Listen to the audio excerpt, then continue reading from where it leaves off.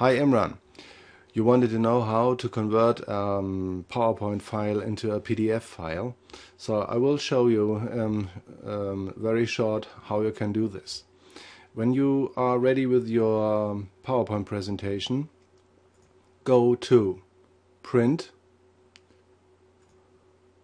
and then don't choose your printer what you normally do but choose Adobe PDF and click OK then it will be you will be asked where you want to save it. I save it here. Okay.